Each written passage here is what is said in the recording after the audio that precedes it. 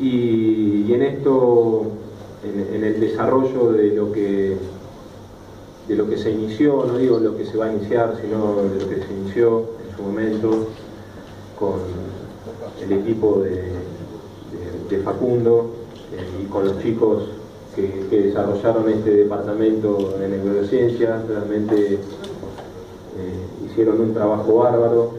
Gracias Lea, muchas gracias. Eh, bueno, surgió